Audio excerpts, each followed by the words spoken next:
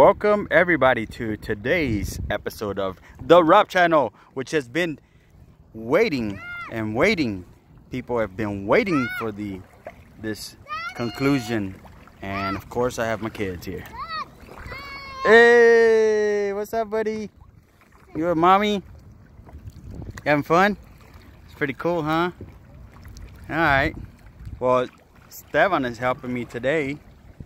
Uh, we're kind of we're gonna go get our fishing rods to make sure that we can have a couple of uh, fishes to like fish fry maybe later. So we're going. Are you tired? No. It's more than pushing buttons on the computer, right? No.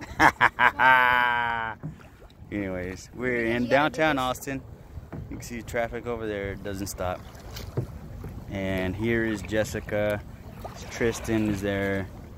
And we are just on the Wait, is that where we were? yeah, we're going that way where the rest of those guys are at right there. Don't make sure it's balanced. Okay.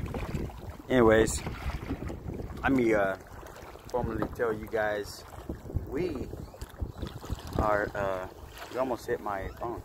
Uh we are trying to go get our fishing gear. We're about to cast some some uh, lures in here, so Are you sure that's we you're good. You're good. Anyways, uh, you guys keep posting. Post this on the Rob channel. Keep following. Subscribe below. I don't know how that works, but sooner, soon we will know how that works.